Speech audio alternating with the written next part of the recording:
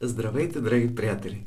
Вие сте с предаването Поточе за здравословния начин на живот и сега ще ви представя една хигиенна практика. За целта ни трябва пластмасова лъжица, запалка, мивка и вода. И с това, което започваме, нагряваме пластмасовата лъжица ето тук и махаме дръжката. Така, това е което ни трябва. Измиваме я. И от тук нататък тази лъжица ще ни служи. Махнахме дръжката, за да не се чупи и да може по-лесно да се прибира в несесерче или в друго. Тази лъжица е така хубава, с заоблени дебели ръбове, гладки и сега ще ви покажа как се чисти езика с нея, като може да се бележите, че при чистенето на езика, вижте сега какъв е цвета на бузите ми. Чисти езика се чисти ето така. Когато си изплезе езика, ще гледам да не си...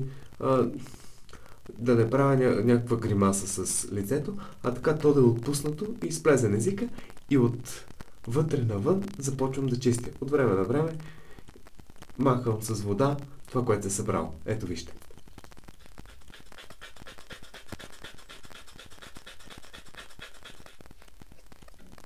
Ето измиваме и продължаваме.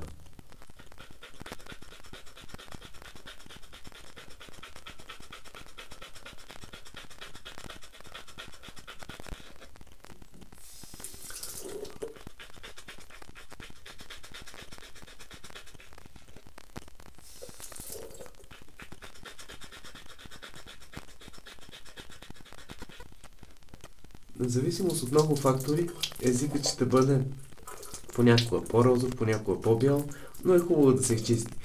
Сега, понякога една друга част от изчистването е да изчистим горната част на лицето и това може да направим така с пръст.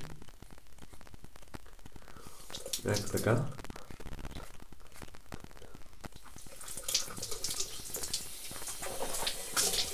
Изплакваме и сега продължаваме с езика.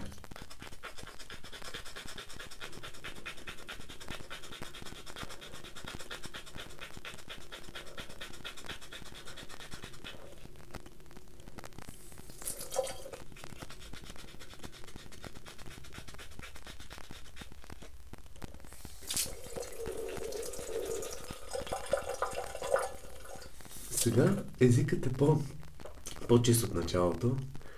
А, вече мога да се промия устата, но искам да ви обърна внимание, че това упражнение а, придава повече розов цвят на бузите, т.е.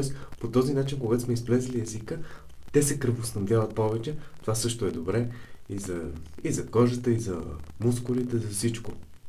Така че това е една хубава практика, която може да правим сутрин или по друго време, когато усетим, че имаме нужда.